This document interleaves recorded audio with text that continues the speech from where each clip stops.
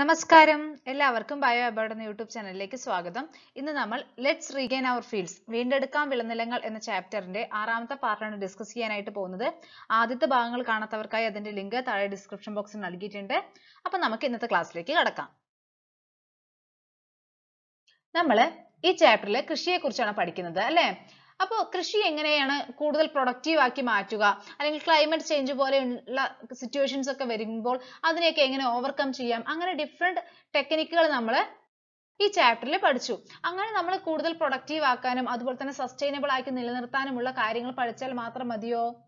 അത് അപ്ലൈ ചെയ്യുകയും കൂടി വേണം അല്ലേ? അപ്പോ ഈ കൃഷി എന്ന് പറയുന്നത് ഫാർമേഴ്സിന്റെ മാത്രം റെസ്പോൺസിബിലിറ്റി അല്ല. അല്ലേ? എല്ലാവർക്കും കൃഷി ചെയ്യാനായിട്ട് സാധിക്കും. അപ്പൊ നമ്മളുടെ പരിമിതികൾക്കുള്ളിൽ നിന്നുകൊണ്ട് നമുക്കിപ്പോ കുറച്ച് ചിലപ്പോൾ കുറച്ച് സ്ഥലമേ ഉണ്ടാവുകയുള്ളൂ അല്ലെങ്കിൽ കുറച്ച് സമയം മാത്രമേ ലഭിക്കുകയുള്ളൂ. എന്നാലും ആ ലഭിക്കുന്ന സമയത്ത് നമ്മുടെ പരിമിതികൾക്കുള്ളിൽ നിന്നുകൊണ്ട് നമുക്ക് എന്ത് ചെയ്യാനായിട്ട് സാധിക്കും?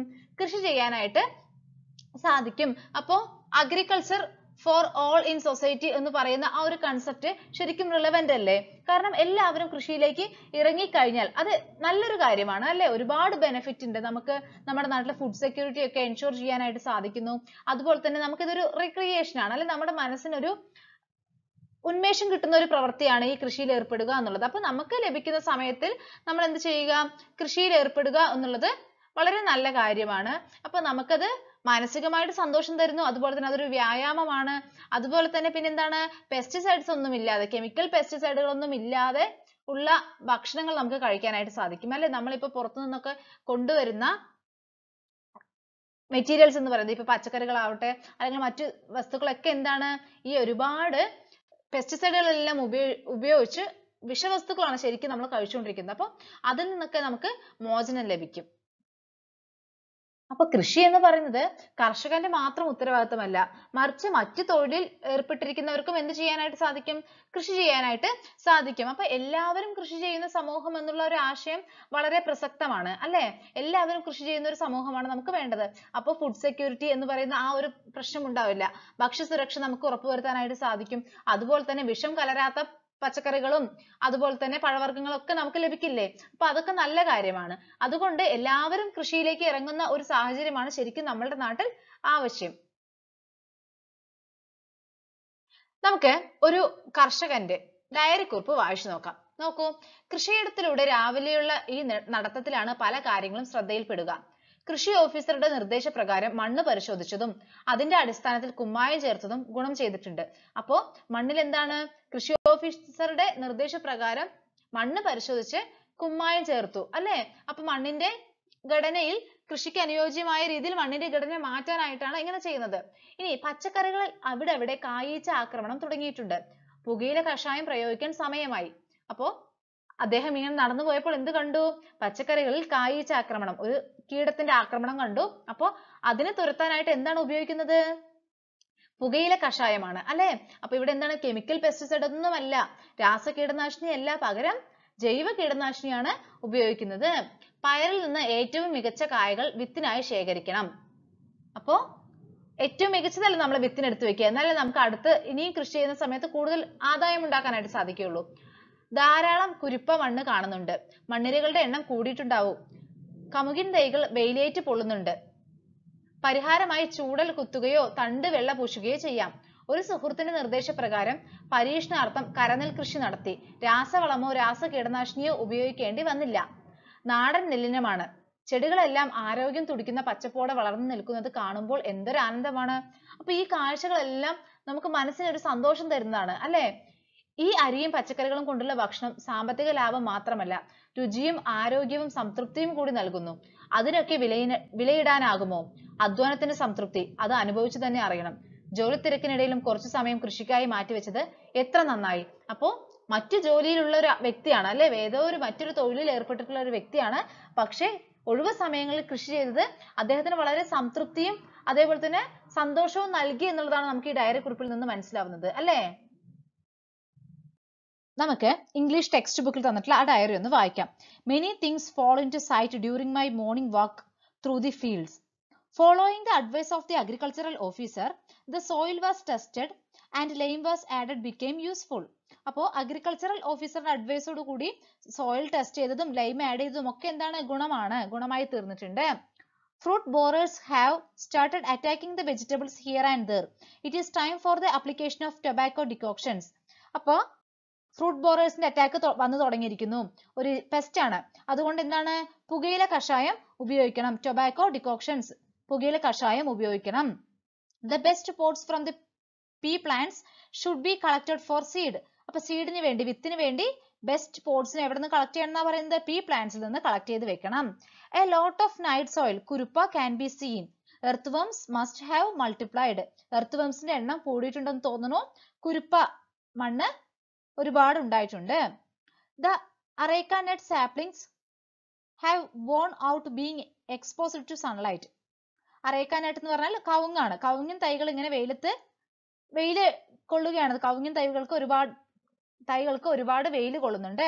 It is necessary to provide them shade or white wash their trunk ഒന്നില്ലെങ്കിൽ അവരുടെ തണ്ട് വൈറ്റ് വാഷ് ചെയ്യുകയോ അല്ലെങ്കിലോ ഒരു ഷെയ്ഡ് വെച്ച് കൊടുക്കുകയോ വേണം. On the advice of a friend, I also tried land paddy cultivation. There was no need to use chemical fertilizers or chemical pesticides since it was an indigenous variety of rice. അപ്പൊ paddy cultivation തുടങ്ങിയിട്ടുണ്ട്. നെല്ല് കൃഷി നെൽകൃഷി തുടങ്ങിയിരിക്കുന്നു. പക്ഷെ എന്താണ്? Chemical ഫെർട്ടിലൈസേഴ്സോ അല്ലെങ്കിൽ chemical പെസ്റ്റിസൈഡുകളോ ഒന്നും ഉപയോഗിക്കേണ്ടതായിട്ട് വന്നില്ല. എന്തുകൊണ്ടാണത്? കാരണം ആ റൈസ് ഒരു ഇൻഡിജിനസ് വെറൈറ്റി ആയിരുന്നു. ഇൻഡിജിനസ് വെറൈറ്റി എന്ന് പറയുമ്പോൾ ഹൈ ഡിസീസ് റെസിസ്റ്റൻസ് ഉള്ളവയായിരിക്കും അല്ലേ? അതുകൊണ്ട് തന്നെ കെമിക്കൽ പെസ്റ്റിസൈഡുകളോ കെമിക്കൽ ഫെർട്ടിലൈസേഴ്സോ ഒന്നും ഉപയോഗിക്കേണ്ടതായിട്ട് വന്നില്ല. How nice it is to see the plants raising heads high in the lush green such a diet that includes rice and vegetables is not only profitable but also one provides taste health and satisfaction. അപ്പോ ഇങ്ങനെ കൃഷി ചെയ്തുണ്ടാക്കുന്നത് നമുക്ക് ഒരു profit മാത്രമല്ല തരുന്നത്. പകരം എന്താണ്? Tasty ആയ ഹെൽത്തി ആയ അതുപോലെ തന്നെ സാറ്റിസ്ഫൈഡ് ആയിട്ടുള്ള ഫുഡാണ് നമുക്ക് പ്രൊവൈഡ് ചെയ്യുന്നത്. അപ്പൊ നമുക്ക് ഇങ്ങനെ കൃഷി ചെയ്യുന്നതിലൂടെ എന്ത് ലഭിക്കുന്നുണ്ട്? സാറ്റിസ്ഫാക്ഷൻ ലഭിക്കുന്നുണ്ട്. How can this be rated ഈ സാറ്റിസ്ഫാക്ഷൻ നമുക്ക് ഒരിക്കലും അതിനെ വിലയിടാനായിട്ട് സാധിക്കുക ഇല്ല. അല്ലേ? The result of hard work അതെന്താണ്? ഹാർഡ് വർക്കിന്റെ റിസൾട്ട് ആണ്. Something to be experienced how nice that I could spare some time for farming അപ്പൊ ഈ കൃഷി ചെയ്തുണ്ടാവുന്ന ഈ സംതൃപ്തി നമുക്ക് ഒരിക്കലും പറഞ്ഞറിയിക്കാനായിട്ട് പറ്റില്ല. അത് എന്താണ് എക്സ്പീരിയൻസ് ചെയ്ത് തന്നെ അറിയണം. അപ്പൊ ഞാൻ ഈ കൃഷിയിലേക്ക് ഇറങ്ങിയത് വളരെ നല്ല കാര്യമായി എന്നാണ് അദ്ദേഹം ചിന്തിക്കുന്നത്. നിങ്ങളിപ്പോ ഒരു കർഷകന്റെ ഡയറി വായിച്ചു അല്ലെ? ഒരു ഫാർമറുടെ ഡയറി വായിച്ചു കഴിഞ്ഞപ്പോൾ നമുക്ക് മനസ്സിലായി അവർ ഒരുപാട് കാര്യങ്ങൾ ഒബ്സർവ് ചെയ്യുന്നുണ്ട്. ഒബ്സർവ് ചെയ്തിട്ട് അതിന് വേണ്ട നടപടികൾ എന്താണോ അത് ആ ഒരു എന്തെങ്കിലും ഒരു പ്രോബ്ലം ഉണ്ടായിട്ടുണ്ടെങ്കിൽ അതിനെ എങ്ങനെ പ്രിവെന്റ് ചെയ്യാം എന്നുള്ളതിന് അവർ തന്നെ കണ്ടുപിടുത്തങ്ങളും നടത്തുന്നുണ്ട്. അല്ലെ? ഒരു സയന്റിഫിക് സ്റ്റഡി എടുക്കുകയാണെങ്കിൽ ഒരു ശാസ്ത്രീയമായിട്ടുള്ള ഒരു പഠനം എടുക്കുകയാണെങ്കിൽ അവിടെ ഇതേ മെത്തേഡ് തന്നെയാണ് ഫോളോ ചെയ്യുന്നത്. അതായത് ആദ്യം അവർ പ്രശ്നത്തെ തിരിച്ചറിയും അല്ലെ? ഒരു സയന്റിഫിക് സ്റ്റഡിയിൽ എന്താണ് പ്രോബ്ലം എന്നുള്ളത് ഐഡന്റിഫൈ ചെയ്യും. എന്നിട്ട് നിരീക്ഷണത്തിലൂടെയും പരീക്ഷണത്തിലൂടെയും ഒക്കെ പരമാവധി വിവരങ്ങൾ ശേഖരിക്കും. അപ്പോൾ എന്ത് ചെയ്യുന്നു? ഒരു പ്രോബ്ലം ഐഡന്റിഫൈ ചെയ്തതിന് ശേഷം ഒബ്സർവേഷൻ നടത്തിയിട്ടും അതുപോലെ തന്നെ ഒരുപാട് എക്സ്പെരിമെന്റുകളും ഒക്കെ നടത്തിയിട്ട് നമ്മൾ അതുമായിട്ട് റിലേറ്റ് ചെയ്തിട്ടുള്ള ഇൻഫർമേഷൻസിനെ ഒക്കെ കളക്ട് ചെയ്യുന്നു. ആ ഇൻഫർമേഷൻസ് ഒക്കെ പിന്നീട് എന്ത് ചെയ്യുന്നു? അനലൈസ് ചെയ്യുന്നു. വിശകലനം ചെയ്യുന്നു. ശേഖരിച്ച വിവരങ്ങളെല്ലാം വിശകലനം ചെയ്തിട്ട് അതിൽ നിന്നൊരു ഇൻഫറൻസിലേക്ക് എത്തുകയാണ്. ഒരു നിഗമനത്തിലേക്ക് എത്തുന്നു. ഈ നിഗമനത്തിലേക്ക് എത്തിക്കഴിഞ്ഞാൽ അവിടെ നിർത്തുന്നില്ല. പിന്നെ വീണ്ടും അതിനെ ഫോളോ ചെയ്യുന്നുണ്ട്. നിരന്തരമായിട്ട് ആ നിഗമനത്തിലെ ആ നിരന്തരമായിട്ട് ഈ പ്രോബ്ലവുമായി ബന്ധപ്പെട്ട് ബന്ധപ്പെട്ടിട്ടുള്ള അന്വേഷണം നടത്തി ആ നിഗമനങ്ങൾ ഇങ്ങനെ മെച്ചപ്പെടുത്തിക്കൊണ്ടിരിക്കുന്നുണ്ട്. നമുക്കറിയാം സയൻസ് എന്ന് പറയുന്നത് ഡെയിലി ഇങ്ങനെ വളർന്നുകൊണ്ടിരിക്കുന്ന ഒരു ശാഖയാണ് അല്ലെ? നമ്മൾ ഇന്ന് കണ്ടുപിടിച്ചതായിരിക്കില്ല കുറച്ച് ദിവസം കഴിയുമ്പോൾ അതായിരിക്കില്ല സിറ്റുവേഷൻ കുറച്ചുകൂടി അഡ്വാൻസ്ഡ് ആയിട്ടുള്ള കണ്ടുപിടുത്തങ്ങൾ അതേ സംഗതിയിൽ തന്നെ വന്നിട്ടുണ്ടാവും. അപ്പൊ അതുകൊണ്ട് ഈ സയന്റിഫിക് സ്റ്റഡി എന്ന് പറഞ്ഞു കഴിഞ്ഞാൽ ഒരിക്കലും ഒരു നിഗമനത്തിൽ എത്തിച്ചേർന്നു കഴിഞ്ഞാൽ അത് അവസാനിക്കുന്നില്ല. അതിൽ വീണ്ടും സ്റ്റഡീസ് നടത്തിയിട്ട് ഒരുപക്ഷെ നമുക്ക് ആ നിഗമനം തന്നെ മാറേണ്ടതായിട്ട് വരാം. അല്ലെങ്കിൽ അതിൽ ഒരുപാട് കാര്യങ്ങൾ പുതുതായിട്ട് ആഡ് ചെയ്യേണ്ടതായിട്ടൊക്കെ വരുന്നുണ്ട്. അപ്പൊ സയന്റിഫിക് സ്റ്റഡിയിൽ എന്ത് ചെയ്യുന്നു? ഒരു ഇൻഫറൻസിൽ എത്തിയതിന് ശേഷം ഒരു നിഗമനത്തിൽ എത്തിയതിനു ശേഷം വീണ്ടും കണ്ടിന്യൂസ്ലി അതിനെക്കുറിച്ച് എൻക്വയർ ചെയ്ത് ചെയ്ത് അതിന് എന്തെങ്കിലും ഇമ്പ്രൂവ്മെന്റോ മോഡിഫൈ ചെയ്യാനുണ്ടെങ്കിൽ അത് ചെയ്യുന്നു. അപ്പൊ ഇങ്ങനെ ചെയ്യുന്നവരെ നമ്മൾ എന്താ പറയുന്നത്? സയന്റിസ്റ്റുകൾ എന്നാണ് പറയുന്നത്. അല്ലെ? ശാസ്ത്രജ്ഞന്മാർ എന്നാണ് പറയുന്നത്. അപ്പൊ ഒരു ശാസ്ത്രജ്ഞൻ എന്ന് പറയുന്ന ആൾ അല്ലെങ്കിൽ ഒരു സയന്റിസ്റ്റ് ഇത്തരത്തിലാണ് സയന്റിഫിക് സ്റ്റഡി നടത്തുന്നത്. അപ്പോ ഇതേ മെത്തേഡ് തന്നെയാണ് ആര് ഫോളോ ചെയ്യുന്നത്? ഒരു കർഷകൻ ചെയ്യുന്നത്. അപ്പൊ അങ്ങനെ ചിന്തിച്ച് നോക്കുമ്പോൾ കർഷകനും ഒരു സയന്റിസ്റ്റ് അല്ലേ? കാരണം കൃത്യമായിട്ട് പ്രോബ്ലംസിനെ കുറിച്ച് പഠിക്കുന്നു. അവർ അതിനെ കുറിച്ചിട്ട് കൃത്യമായി ഒബ്സർവ് ചെയ്ത് പിന്നെ അതിൽ തന്നെ എന്തെങ്കിലുമൊക്കെ പരീക്ഷണങ്ങളൊക്കെ നടത്തി. ഇപ്പൊ ഒരു പെസ്റ്റ് വന്നു. ഒരു പെസ്റ്റ് അറ്റാക്ക് ഉണ്ടായി കഴിഞ്ഞാൽ അവരെന്ത് ചെയ്യുന്നു? അത് ഏത് പെസ്റ്റ് ആണെന്ന് മനസ്സിലാക്കുന്നു. അതിനനുസരിച്ചിട്ടുള്ള ഒരു പെസ്റ്റിസൈഡ് ഉപയോഗിക്കുന്നു അല്ലേ? ആ പെസ്റ്റിസൈഡ് ഉപയോഗിച്ചിട്ട് അത് പോകുന്നുണ്ടോ? അല്ലെങ്കിൽ അതിന്റെ ആ ഒരു അറ്റാക്ക് കുറയുന്നുണ്ടോ? എന്നുള്ളതൊക്കെ കൃത്യമായിട്ട് ഒബ്സർവ് ചെയ്ത് വീണ്ടും വീണ്ടും എക്സ്പെരിമെന്റുകളൊക്കെ ചെയ്താണ് ഒരു കർഷകനും കടന്നു പോകുന്നത് അല്ലേ? അപ്പൊ അതുകൊണ്ട് നമുക്ക് ഒരു ഫാർമറിനെ ഒരു സയന്റിസ്റ്റ് ആണെന്ന് തന്നെ പറയാം. നമ്മൾ വെജിറ്റബിൾസിനും അതുപോലെ തന്നെ മറ്റുള്ള ആവ- ആവശ്യങ്ങൾക്കൊക്കെ വേണ്ടി ആരെ ഡിപ്പെൻഡ് ചെയ്യുന്നുണ്ട്? അതർ സ്റ്റേറ്റ്സിനെ ഡിപ്പെൻഡ് ചെയ്യുന്നുണ്ട് അല്ലെ? മറ്റുള്ള സംസ്ഥാനങ്ങൾ ഡിപ്പെൻഡ് ചെയ്യുന്നുണ്ട്. ഇതുകൊണ്ടുണ്ടാവുന്ന ഒരു ദൂഷ്യവശം എന്ന് പറയുന്നത് രാസകീടനാശിനികളുടെ അമിതമായിട്ടുള്ള ഉപയോഗമാണ്. കാരണം അവർ രാസ കീടനാശിനികൾ കൂടുതലായി ഉപയോഗിച്ചിട്ടുള്ള പച്ചക്കറികളും പഴങ്ങളും ഒക്കെയാണ് നമ്മുടെ നാട്ടിലേക്ക് കയറ്റി വിടുന്നത്. അതുകൊണ്ട് നമ്മുടെ നാട്ടിലുള്ള ജനങ്ങൾക്ക് ഒരുപാട് ആരോഗ്യ പ്രശ്നങ്ങൾ ഉണ്ടാവുന്നുണ്ട്. അപ്പൊ ഇത് തിരിച്ചറിഞ്ഞുകൊണ്ട് ഒരുപാട് പേർ മറ്റു ജോലികൾക്കിടയിലും കൃഷിയിലേക്ക് തിരിയുന്നുണ്ട്. അപ്പോ എല്ലാവരും എന്താണ്? ഈ രാസകീടനാശിനികളൊന്നും ഉപയോഗിക്കാത്ത ഭക്ഷണം വേണം അല്ലെങ്കിൽ അതാണ് ആരോഗ്യത്തിന്റെ അടിസ്ഥാനം എന്നുള്ളത് തിരിച്ചറിഞ്ഞാണ് ഇങ്ങനെ മറ്റു ജോലികൾക്കിടയിലും കൃഷി എന്ന് പറയുന്ന മേഖലയിലേക്ക് തിരിയാനായിട്ടുള്ള കാരണം. അപ്പോ ഇത് ഒറ്റയ്ക്ക് ചെയ്യുന്നുണ്ട് അല്ലെ? ചിലർ വീടുകളിൽ ഒറ്റയ്ക്ക് ചെയ്യുന്നുണ്ട്. ചിലരാവട്ടെ കൂട്ടായ്മകൾ രൂപീകരിച്ച് അങ്ങനെ ചെയ്യുന്നുണ്ട്. അപ്പൊ സൺഡേ ഫാമിംഗ് അതുപോലെ തന്നെ കുടുംബ കൃഷി തുടങ്ങിയ പേരുകളിലെല്ലാം ഇത്തരത്തിൽ കൃഷിയിൽ ആളുകൾ ഏർപ്പെടുന്നുണ്ട്. അപ്പൊ ഇതുകൊണ്ടുള്ള മെച്ചങ്ങൾ എന്തൊക്കെയാണ്? തരിശു നിലങ്ങളുടെ വിനിയോഗം അല്ലെ? തരിശായി കിടക്കുന്ന നിലങ്ങളെല്ലാം കൃഷിക്കായി ഉപയോഗിക്കുന്നത് വളരെ നല്ല കാര്യമാണ്. ഈ ലോക്ക്ഡൌൺ കാലഘട്ടത്തിൽ നമ്മൾ ഒരുപാട് വാർത്തയിലൊക്കെ കണ്ടിട്ടുണ്ടാവും. ഒരുപാട് പേർ തരിശു നിലങ്ങളിലേക്ക് കൃഷി ഇറക്കി ഒരുപാട് വിളവൊക്കെ ഉണ്ടായ കാര്യങ്ങളെല്ലാം നമ്മൾ വാർത്തകളിൽ കണ്ടിട്ടുണ്ടാവും. അതുപോലെ തന്നെ നമ്മൾ ഇങ്ങനെ കൃഷിയിൽ ഏർപ്പെടുന്നത് കൊണ്ടുള്ള മറ്റൊരു പ്രധാനപ്പെട്ട ഗുണം എന്ന് പറയുന്നത് വിഷമില്ലാത്ത ഭക്ഷണം ലഭിക്കുന്നു എന്നുള്ളതാണ്. അപ്പൊ നമുക്ക് കീടനാശിനികളൊന്നും ഉപയോഗിക്കാതെ നമ്മളുടെ വീട്ടിൽ തന്നെ കൃഷി ചെയ്തെടുത്തിട്ടുള്ള പച്ചക്കറികളൊക്കെ ഉപയോഗിക്കുന്നതുകൊണ്ട് നമ്മുടെ ആരോഗ്യത്തിന് ഒരുപാട് ഗുണമാണ് അല്ലേ? പിന്നെ ശരീരത്തിന് ഒരു വ്യായാമം കൂടിയാണ് കൃഷി ചെയ്യുന്നത്. ശരീരത്തിന് മാത്രമല്ല മാനസികമായിട്ടും അത് ഒരുപാട് ഉല്ലാസം നൽകുന്ന ഒരു പ്രവൃത്തിയാണ്. പിന്നെ നമ്മൾ ഇങ്ങനെ കൃഷിയിൽ ഏർപ്പെടുന്നതിലൂടെ നമുക്ക് വിലക്കയറ്റം ഒരു പരിധിവരെ തടഞ്ഞൂടെ തടയാനായിട്ട് സാധിക്കും. അല്ലെ? കാരണം നമ്മൾ തന്നെ സ്വയം പര്യാപ്തരാകുമ്പോൾ നമുക്ക് മറ്റുള്ളവരെ ആശ്രയിക്കേണ്ടതായിട്ട് വരുന്നില്ല. മറ്റുള്ള സംസ്ഥാനങ്ങളിൽ ഒന്നും ആശ്രയിക്കേണ്ടതായിട്ട് വരുന്നില്ല. അങ്ങനെ നമ്മൾ സ്വയം പര്യാപ്തരായി കഴിയുമ്പോൾ ഈ വിലക്കയറ്റം മൂലം ഉണ്ടാകുന്ന പ്രശ്നങ്ങളൊക്കെ നമുക്ക് ഒരു പരിധി വരെ തടയാനായിട്ട് സാധിക്കുന്നു. അതുപോലെ തന്നെ നമ്മുടെ നാട്ടിൽ ഭക്ഷ്യസുരക്ഷ ഉറപ്പുവരുത്താനും ഇത്തരത്തിൽ കൃഷിയിൽ ഏർപ്പെടുന്നതിലൂടെ സാധിക്കുന്നുണ്ട്. നമ്മുടെ ആരോഗ്യപരമായിട്ടുള്ള ഒരു മുന്നേറ്റം കൂടി ഈ കൃഷിയിൽ ഏർപ്പെടുന്ന മൂലം ഉണ്ടാവുന്നുണ്ട്. അല്ലേ? അപ്പൊ നമ്മൾ കൂടുതലായും ഡിഫറെന്റ് സ്റ്റേറ്റ്സിനെയാണ് വെജിറ്റബിൾസിനും ഫ്രൂട്ട്സിനും ഒക്കെ വേണ്ടി ഡിപ്പെൻഡ് ചെയ്യുന്നത്. പക്ഷെ അത് കുറയ്ക്കാനായിട്ട് നമുക്ക് എല്ലാവരും കൃഷിയിലേക്ക് ഇറങ്ങുകയാണെങ്കിൽ നമുക്ക് സാധിക്കും അല്ലെ? ഇങ്ങനെ എല്ലാവരും ഇപ്പൊ കൃഷിയിലേക്ക് തിരിഞ്ഞുകൊണ്ടിരിക്കുന്നുണ്ട്. കാരണം ഈ പെസ്റ്റിസൈഡുകളെല്ലാം യൂസ് ചെയ്യുന്നത് മൂലം ഒരുപാട് ആരോഗ്യ പ്രശ്നങ്ങൾ ഉണ്ടാവുന്നുണ്ട് അല്ലെ? ഹെൽത്ത് ഇഷ്യൂസ് ഉണ്ടാവുന്നുണ്ട്. അതിനെല്ലാം മറികടക്കാനായി ഇപ്പൊ മറ്റു ജോലികൾ ചെയ്യുന്നവർ കൂടി എന്തിലേക്ക് വരുന്നുണ്ട്? കൃഷിയിലേക്ക് വരുന്നുണ്ട്. അപ്പൊ ഇത് ഗ്രൂപ്പ് ആയിട്ടും അതുപോലെ തന്നെ ഇൻഡിവിജ്വലിയും ഒക്കെ ആളുകൾ എന്ത് ചെയ്യുന്നു? അഗ്രികൾച്ചർ എന്ന് പറയുന്ന ആ ഫീൽഡിലേക്ക് വരുന്നുണ്ട്.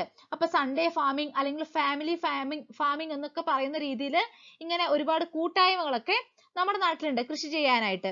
ഇങ്ങനെ എല്ലാവരും കൃഷിയിലേക്ക് വരുമ്പോൾ ഉണ്ടാവുന്ന ഗുണങ്ങൾ എന്തൊക്കെയാണ്? ബാരൻ ലാൻഡ്സ് എല്ലാം യൂസ് ചെയ്യാനായിട്ട് സാധിക്കുന്നുണ്ട് അല്ലെ? അപ്പൊ യൂട്ടിലൈസേഷൻ ഓഫ് ബാരൻ ലാൻഡ്സ് അതുപോലെ തന്നെ പെസ്റ്റിസൈഡ് ഫ്രീ ഫുഡ് നമുക്ക് കഴിക്കാനായിട്ട് സാധിക്കുന്നു. എക്സസൈസ് ഫോർ ദ ബോഡി നമ്മുടെ ബോഡിക്ക് അത് ഒരുപാട് എക്സസൈസ് കൂടി നൽകുന്നുണ്ട്. അല്ലെ? നമ്മളിപ്പോ എക്സസൈസ് ചെയ്യാനായിട്ട് കുറച്ച് സമയം മാറ്റി വെക്കുന്നത് നമുക്ക് എന്താണ്? കൃഷിയിലേക്ക് ഏർപ്പെടാം അതൊരു മാനസികമായും അതുപോലെ തന്നെ ശാരീരികമായും എക്സസൈസ് ആണ്. റിക്രിയേഷൻ അത് നമുക്ക് മാനസികമായിട്ട് ഒരുപാട് സന്തോഷം നൽകുന്ന ഒരു പ്രവൃത്തിയാണ് അതുപോലെ തന്നെ റെഡ്യൂസ് പ്രൈസ് ഹൈക്ക് നമുക്ക് ഇങ്ങനെ കൃഷിയിൽ ഇറങ്ങുന്നതോടുകൂടി എന്താണ്? ഈ പ്രൈസ് ഹൈക്ക് ഒരു പരിധി വരെ റെഡ്യൂസ് ചെയ്യാനായിട്ട് സാധിക്കുന്നുണ്ട്. Ensures food security food security ensure ചെയ്യാനും എന്ത് സഹായിക്കുന്നു?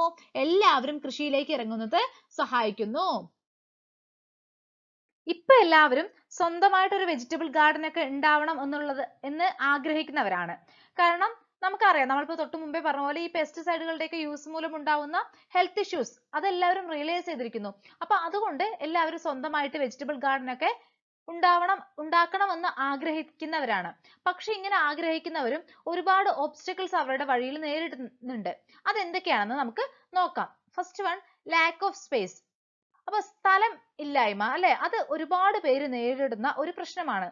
ഇപ്പോ നാട്ടിൻപുറങ്ങളിലൊക്കെ പിന്നെയും കൃഷി ചെയ്യാനുള്ള സ്ഥലം സ്വന്തം വീട്ടിൽ വീട്ടിന്റെ ചുറ്റുപാടും തന്നെ ഉണ്ടാവും. എന്നാൽ ടൗണിലേക്കൊക്കെ വരികയാണെങ്കിൽ ഈ ഫ്ലാറ്റുകളിലൊക്കെ താമസിക്കുന്നവർക്കൊക്കെ ആണെങ്കിലോ കൃഷി ചെയ്യാനുള്ള സ്ഥലം വളരെ പരിമിതമായിരിക്കും അല്ലെ? സ്ഥലം ഉണ്ടാവുകയില്ല. അതൊരു പ്രശ്നമാണ്.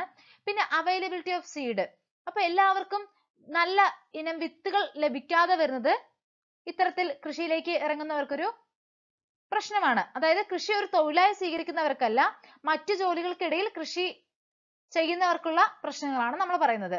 പിന്നെ lack of knowledge in nursing plants അപ്പോ ഈ പ്ലാന്റ്സിനെ വളർത്തിക്കൊണ്ട് വരുന്നത് എങ്ങനെയാണെന്ന് അറിയാത്തവരുണ്ടാവും ചിലർ അല്ലെ?